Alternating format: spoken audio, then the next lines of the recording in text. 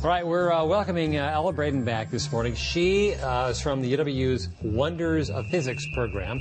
And today we're talking, well, she will explain motion. So, Ella, explain, I have to read this, explain the technical definitions of motion and angular momentum.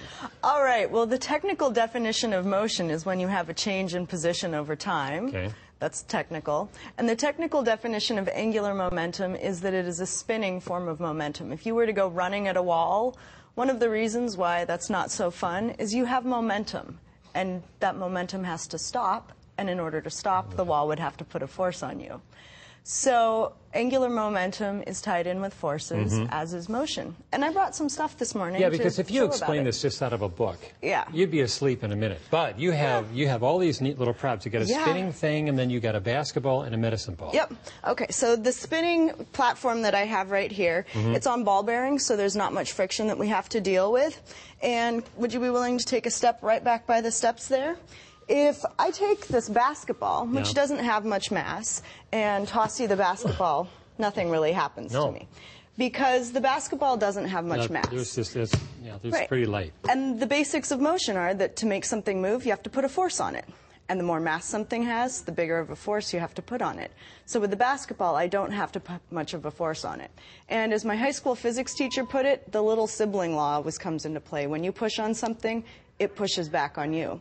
So I brought along a medicine ball. Okay. And the medicine ball, maybe you want to feel it, tell me a Sure. little Oh, bit yeah. about it. See, that's yeah, that that's that's bigger. Yeah, it's a lot bigger. It weighs almost nine pounds. Okay. And so if I take this medicine ball Okay. and give it a little toss, what happens to me? You start spinning. I start spinning because when I put a force on the medicine ball, it puts a force back on me, and that makes me start moving. It's just the basics of motion. We feel it every day in our lives. We're all experts in physics, actually. Really, that that's really that is interesting. That's Yeah. cool. Now, what about the, the, the bike wheel? Let's do So the bike wheel. I think we have a volunteer. Yeah, to come Andrew, come on out here. Andrew's from our wheel crew. us.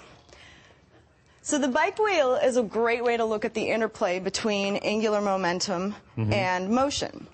So if Andrew takes the bike wheel and turns it on its side without it spinning, not much happens. How about the other side? Just a test. You want to be thorough when you're doing science. Did Okay. anything happen? No. You No, feeling anything? not really. Nothing. Okay. Nothing. So if I take this bicycle wheel, bring Uh-huh. it back where I can touch it, and give it a good spin, what happens now when you tip it on its side? Oh, look at that. How about its other side?